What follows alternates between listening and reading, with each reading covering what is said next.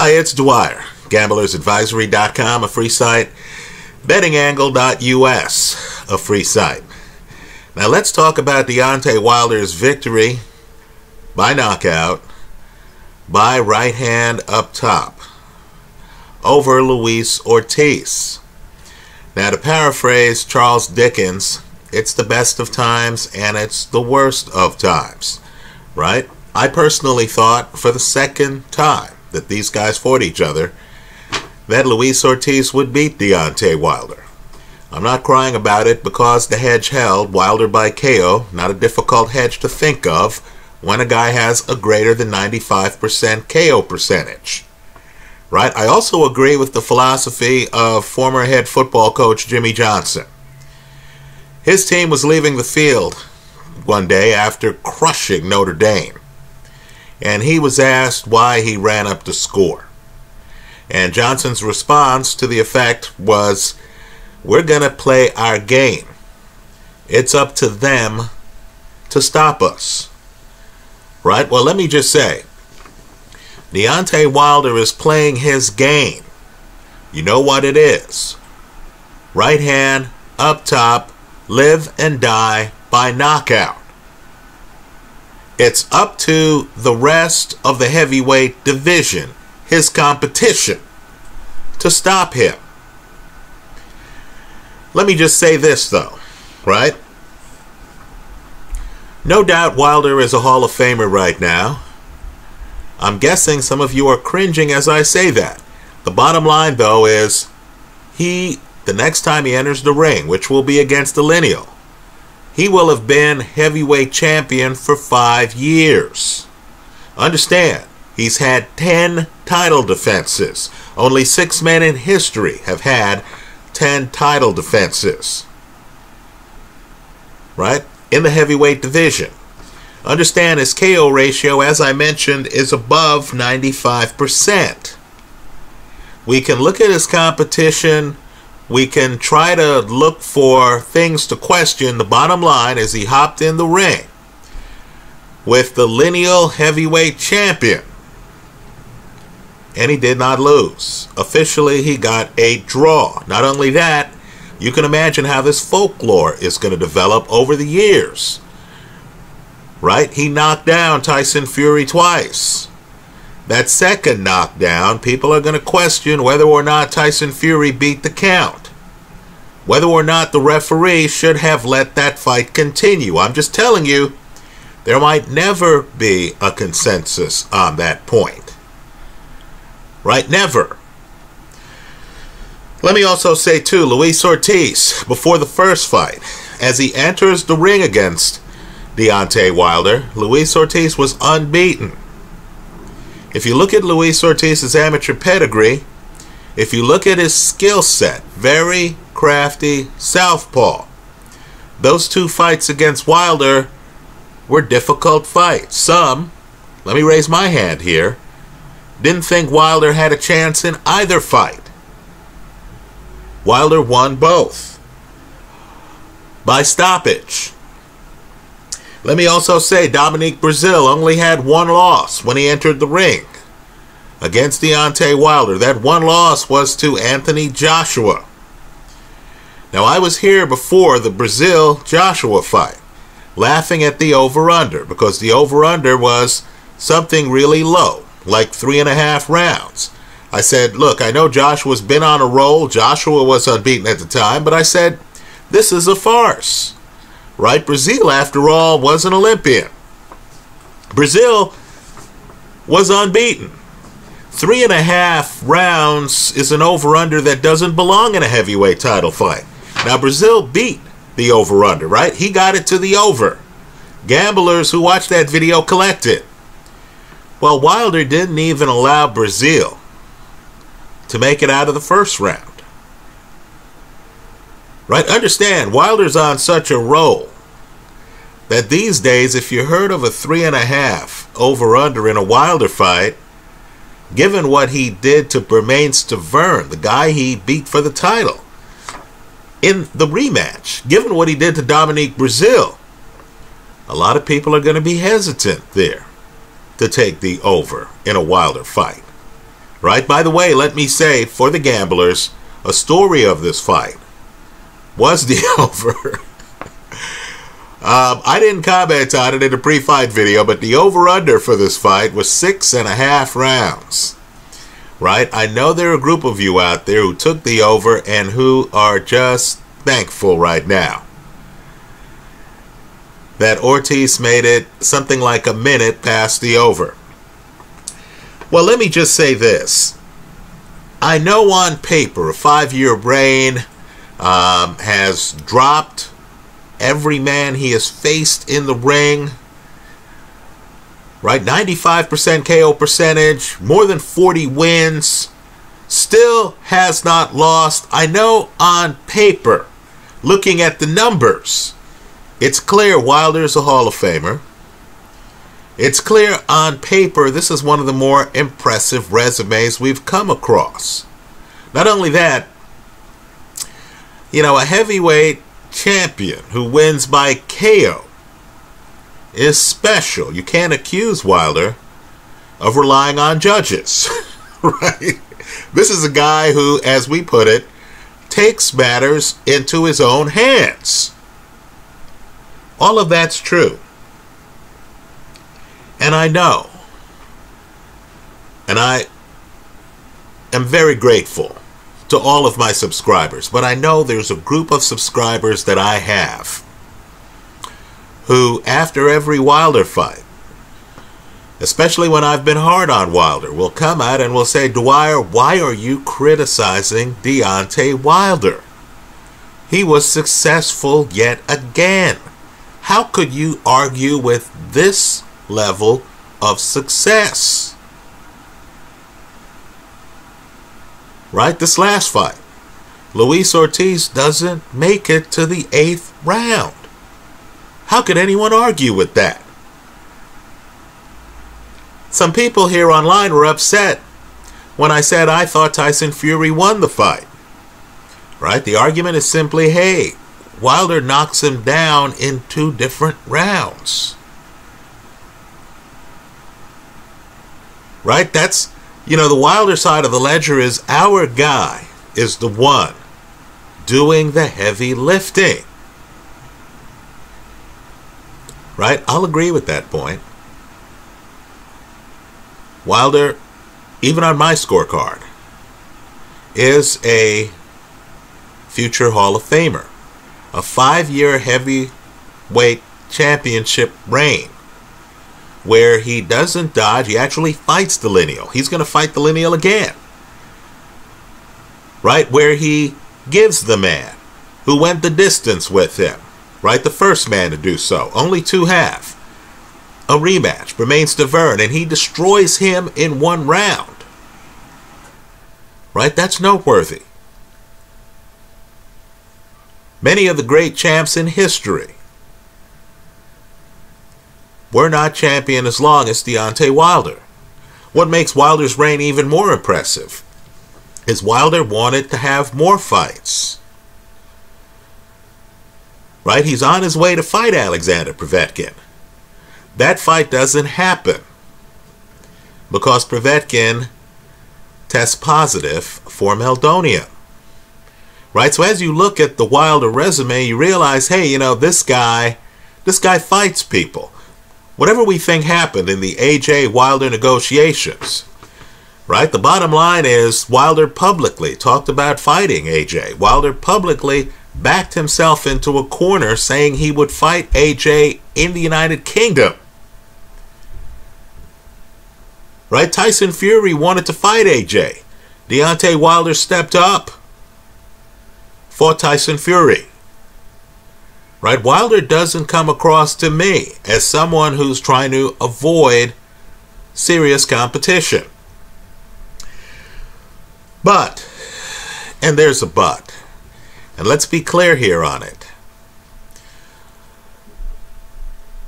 Two of the three judges watching this fight, at the end of the sixth round, let's do the math, had Luis Ortiz up by four rounds. Now let's do the math here. How are you up by four rounds at the end of six? That's if you've only lost one round. That's if the card is 5 1. Right, 5 1. Two of the judges had Luis Ortiz up 5 1. I'm just telling you, they were more generous than I was.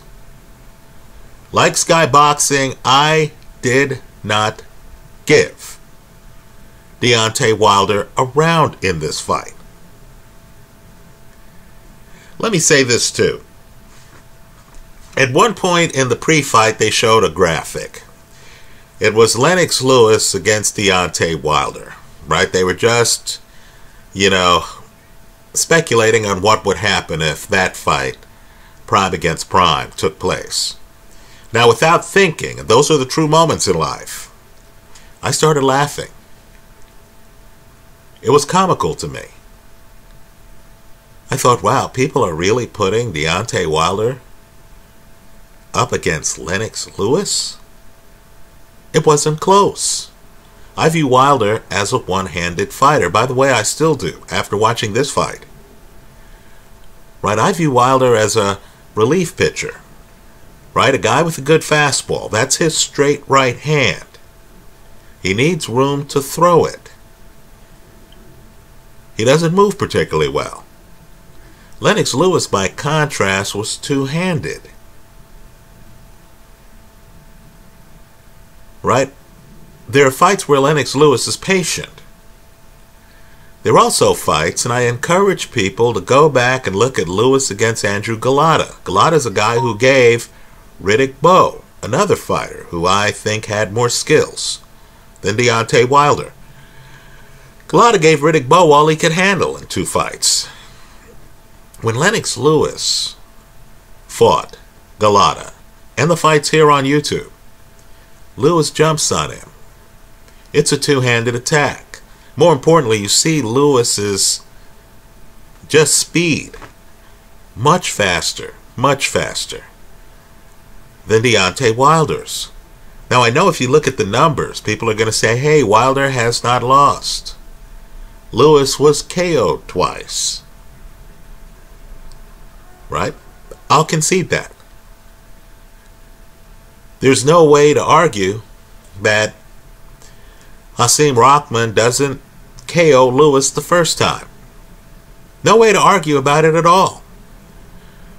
Right? But just from my seat, if I'm going to judge a fighter by his skill set and how he uses his tools in the ring, let's just say that there are a bunch of heavyweight champions who I feel have bigger toolkits than Deontay Wilder. Right? So I hear Wilder in interviews talk about how he would love to have fought Mike Tyson Wow. Um, I understand Mike Tyson lost to Buster Douglas. No question about it. I understand Tyson had problems against some big guys who had some jabs. Tony Tucker has his moments against Mike Tyson. Point conceded.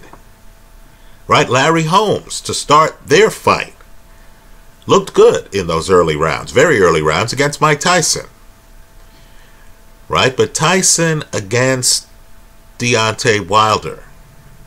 This is this Deontay Wilder with 10 consecutive title defenses.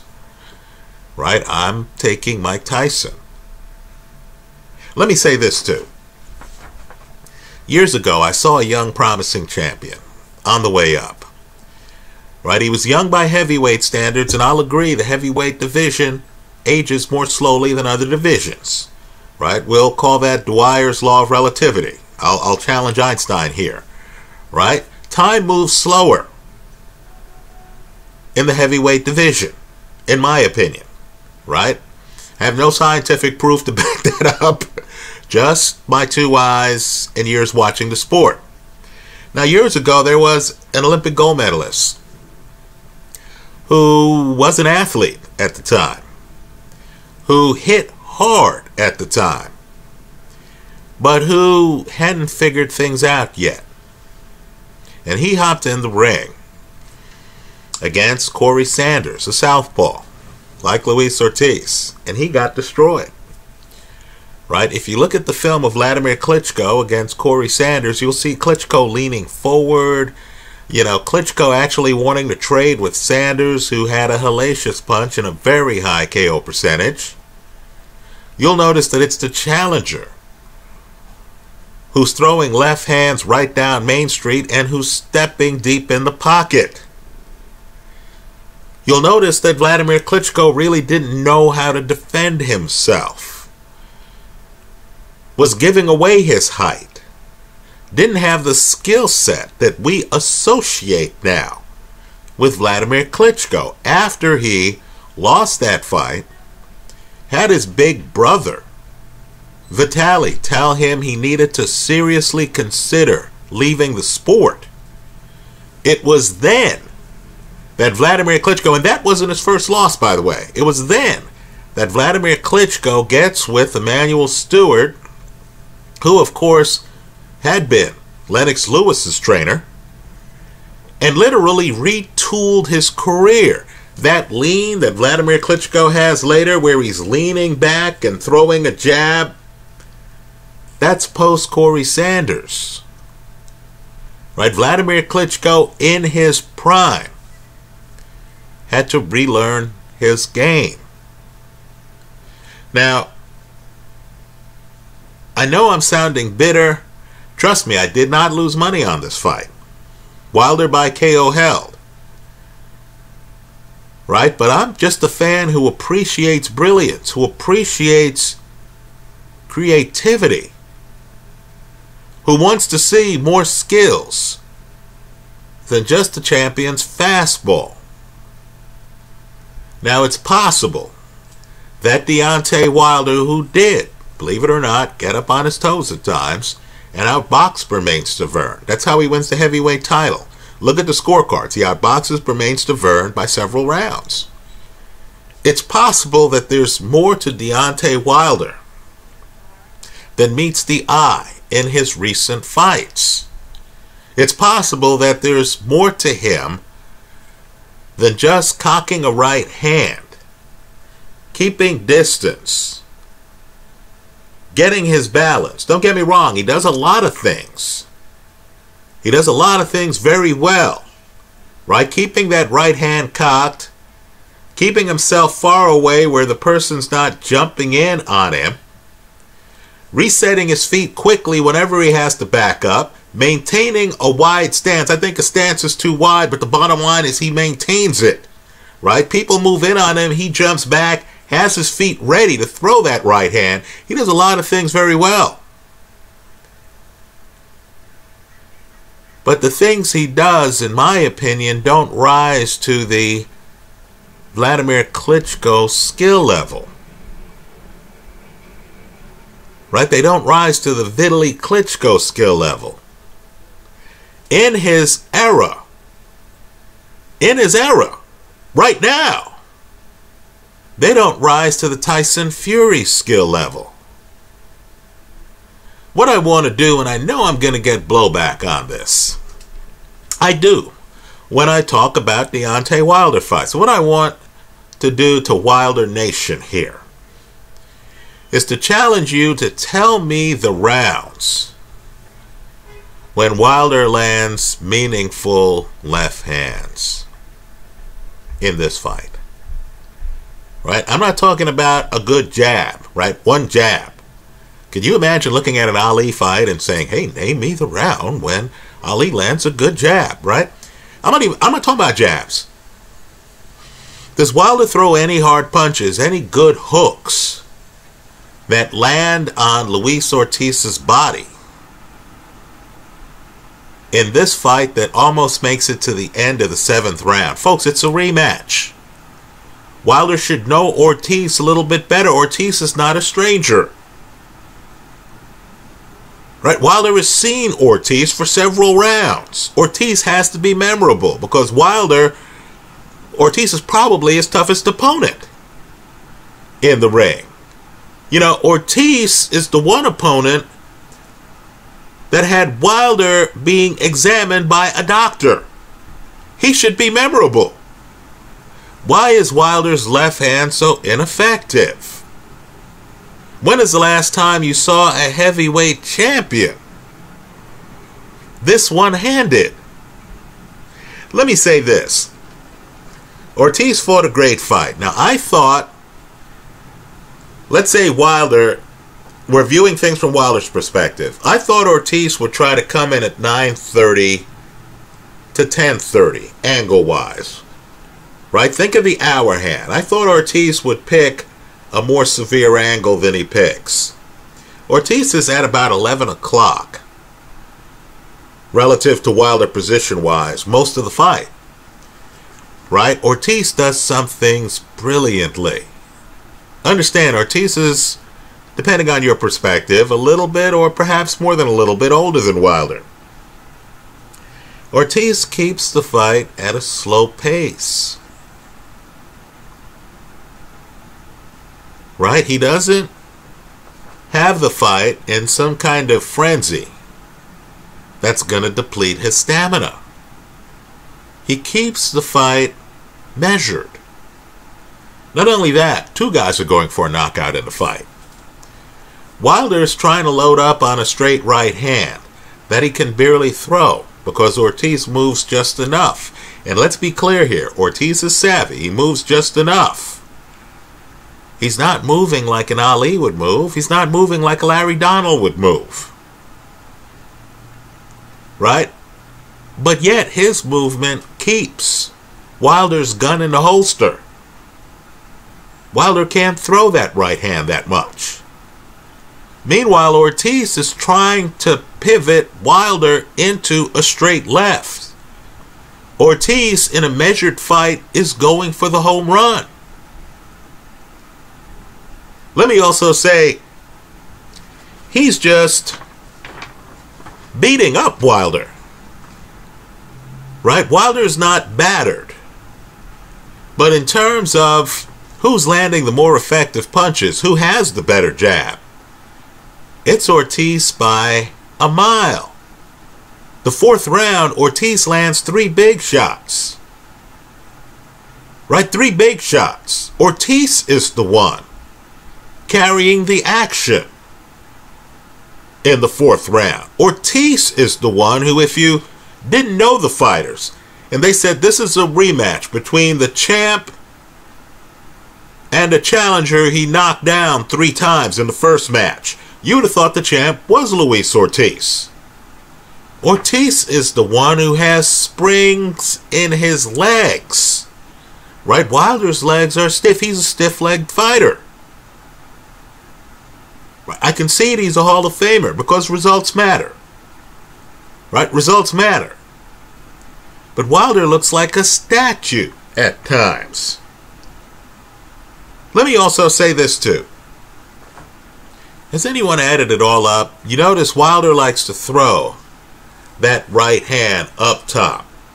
Wilder's six seven. He wants to make sure that the right hand that he throws up top finds its mark. So Wilder likes to fight taller fighters. Has anyone figured that out? Right? Luis Ortiz is 6'4. How tall was Dominic Breazeale? How tall is Tyson Fury? When I hear Wilder talking about fighting Mike Tyson, does Wilder even know what that entails?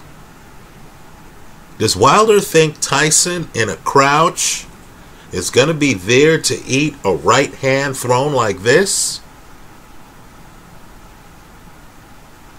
So let me just put it this way. And I agree, there's, there's no question on the end of this fight. At the end of a seventh round, that Luis Ortiz is winning. You'll notice the sequence at the end is interesting. Right? Ortiz is in the middle of the ring, not Wilder. Ortiz is winning the round. It's the closing seconds of the round. Right? I think Ortiz at that point takes things for granted. And you can never do that against Deontay Wilder. That's Wilder's greatness. You have to be switched on for three minutes of every round. So Ortiz cavalierly when they're separated, puts himself between Wilder and the ropes. Right? Cavalierly, he doesn't have the space behind him. It's one of the few times in the fight that Ortiz puts himself between Wilder and the ropes. He concedes the middle of the ring to Wilder because it's the end of the round. It's at that point that Wilder has Ortiz with nowhere to go. Ortiz is a little lackadaisical. Wilder throws the punch he knew he was going to throw. Straight right hand up top. Hits Ortiz where else? Not in the body, it's not a body shot. Not in the arm, it's always a head shot, isn't it? Always a head shot. And this time Ortiz doesn't have his right hand up. Punch lands flush. That's the end of the match. Right? Deontay Wilder is the heavyweight champion. Also because Anthony Joshua has had a car crash with Andy Ruiz. And because Wilder shrewdly has signed to fight Tyson Fury for a rematch. Whoever wins that AJ Ruiz fight is shut out for the next fight Wilder has. Right? There's the possibility too. Now I expect Ruiz to win that fight going away. I'll agree with those. I'll agree with Mike Tyson. I'll agree with Freddie Roach. There's a crowd out there that feels that Andy made a mistake losing all the weight for the rematch. Let me just say, too, that I don't think science fully appreciates it, but I'm just telling you, there's a correlation between the weight your body has, how whether or not it's weight drained, and your punch resistance. I don't like the idea of a guy fighting in a rematch deciding voluntarily, hey, I took the other guy's punches the first time. Keep in mind that first fight, Andy's on the canvas. Right? Had Andy been just a little bit more hurt, AJ would have defended the title. That first fight would have been unremarkable. Andy gets off the canvas, gets hit with the right hand. Right? I'm a little bit nervous that the lower weight might actually impact his ability to take shots like that in a rematch. But of course, he's not the only one losing weight for the rematch, is he? Joshua's losing weight for the rematch. If Joshua thinks he's going to be able to beat Andy Ruiz on his back foot, he's kidding himself. Well, let me just say this. There's a big difference. It's huge. Between Tyson Fury and Deontay Wilder. Right? It's it's huge. Wilder's a fastball pitcher. You know his the, the biggest tool in his toolbox. Right? You know it's a straight right hand. You don't know the biggest tool in Tyson Fury's toolbox. Because Tyson Fury's not a relief pitcher, he's a starting pitcher. Right? Tyson Fury was a shell of himself when he came back, fought two guys in witness protection, and then fought Deontay Wilder. He was a shell of himself. Prime Tyson Fury can fight 12 rounds left handed. All of the problems that Luis Ortiz as a southpaw just gave Wilder, Fury can do all of those problems. Let me also say, speaking of Freddie Roach, and I know Fury has a young trainer who's popular. Okay, whatever.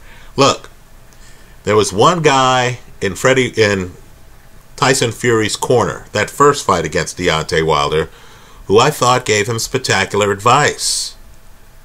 That was Freddie Roach. At one point, Freddie Roach wanted Fury to come inside on Wilder. Folks, Wilder needs space to throw that right hand. I'm just telling you, I saw Bernard Hopkins throughout his career smother a guy's dominant hand when that guy needed space to throw it. Right? If you look at Wilder. The people in history who would give him a hard time, right? On the left side, Luis Ortiz will always give. Wilder a hard time. I believe someone who can operate and move to Wilder's left side. I still believe the angle's 9:30 to 10:30, but if you want to be at 11 o'clock, that's fine if you know how to move. A person who can roll away from Wilder's right hand. A person who's a southpaw simply because Wilder can't counter the person's jab like he wants would take away a lot of Wilder's ability to box.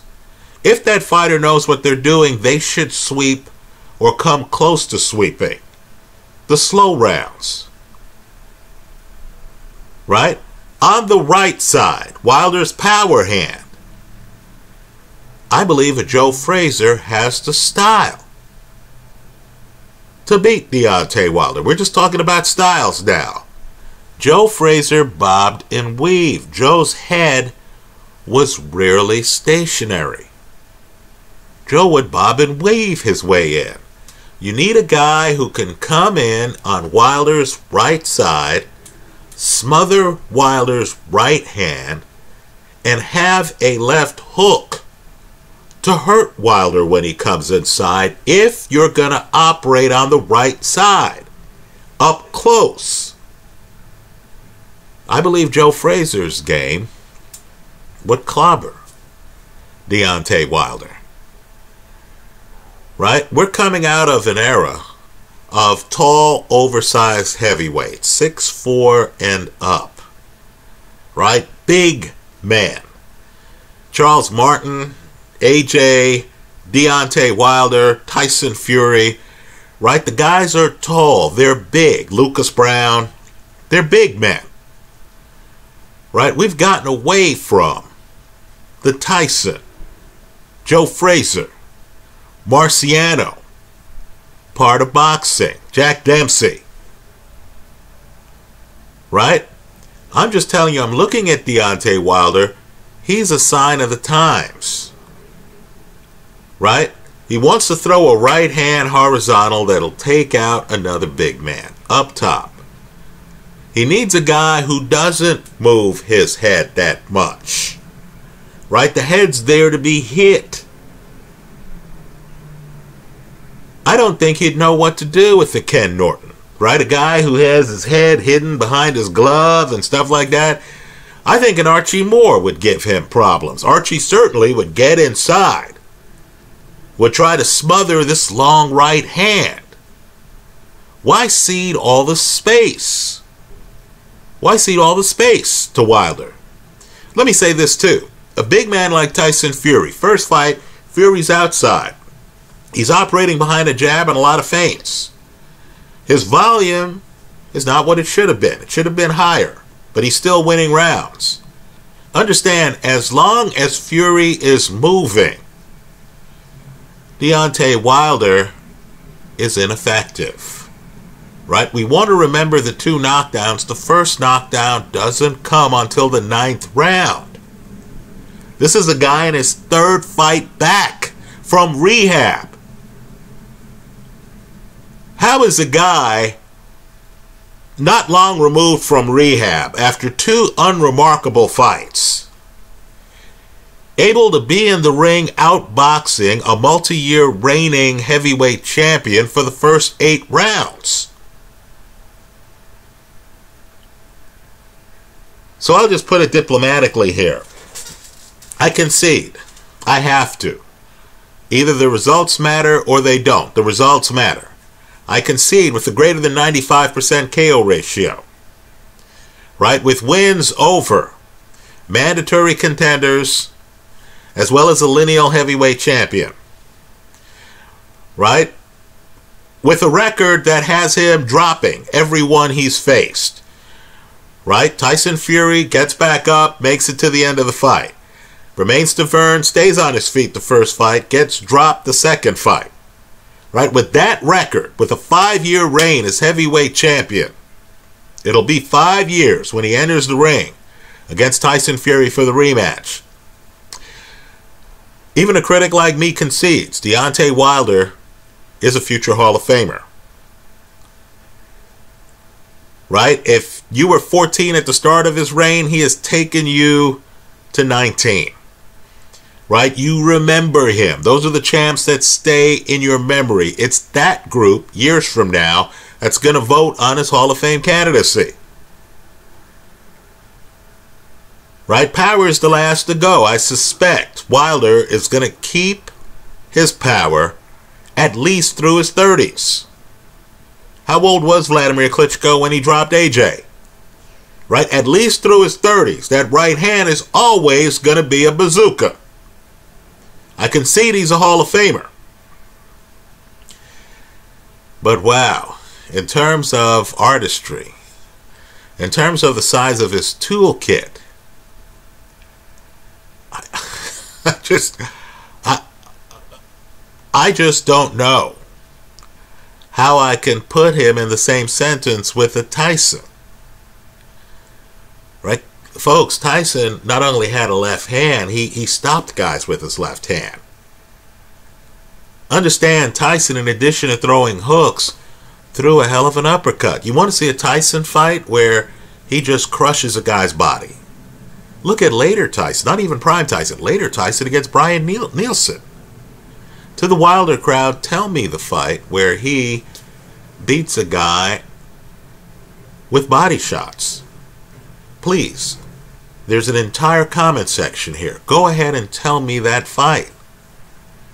Right? I know the Wilder crowd's so desperate to get away from Wilder's right hand that many of you have written me and have said, hey, look at the left hook he throws against Bermane Stiverne. Folks, I would argue that if you break down that Stiverne film, it's his right hand up top. Where else? That does most of the damage. Right?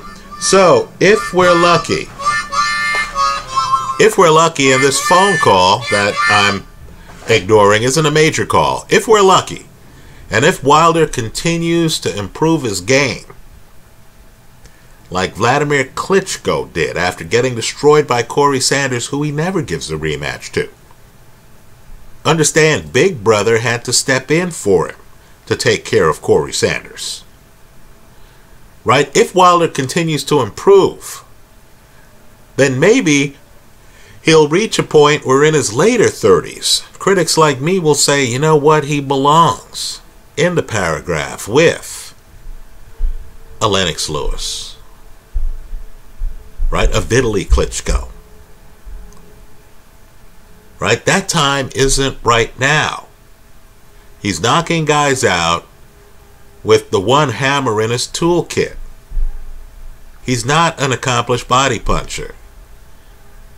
I don't see him throwing a lot of punches other than that right hand. Right? Defensively, he gets hit with some shots in this Ortiz fight. Right? Defensively, he's not great. Right? Let's just say his fights are predictable. I congratulate those of you who's who have ridden his wave and have made a lot of money betting on his fights. I'm just telling you, not only do I expect Tyson Fury, who struggled against Otto Wallin, let's be real here, not only do I expect Tyson Fury to destroy him, I'm hoping Tyson Fury has some Andre Ward in him. Andre Ward's fighting Mikkel Kessler, decides he's going to come inside. In fact, a better Andre Ward fight. He's fighting Edison Miranda. It seemed Andre was bored in that fight. Andre decided, okay, I've moved enough. Let me come inside and see what this guy's going to do deep in the pocket right? I want to see a big man come in, get Wilder on his back foot. Chris Arreola did, right? Actually test Wilder's ability to take shots. You know what? He's badly hurt the Eric Molina fight, folks. Revisit that fight. Just like he was badly hurt, he says buzzed, in the first Luis Ortiz fight.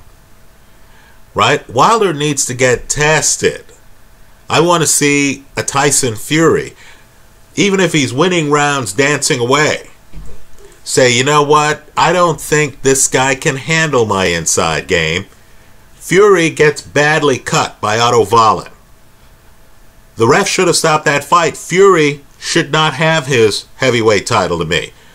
But interestingly enough, Fury decides after the cut, I've got to get close to this young kid.